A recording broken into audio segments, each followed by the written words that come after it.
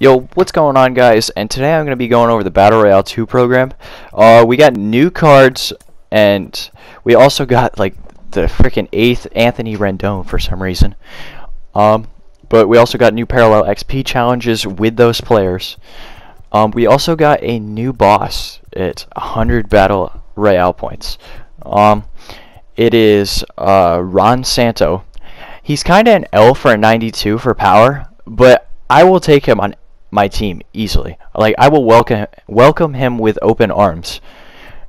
Um, we also got two more 92s for the pack of Battle Royale. Uh, we got Orel, her sister, her whatever, and Jason Giambi. Um, we also got another headliner six. It's Vida Blue.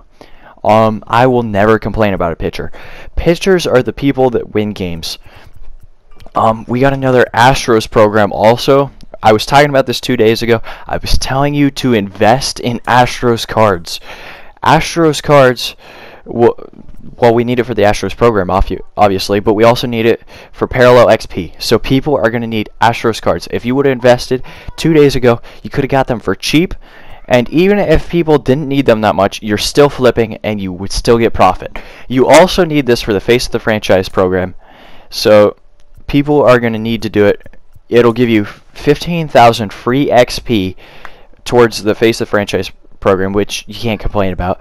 Um, so if you're if you're rolling slow, you just do this program and you'll be ahead of the game now.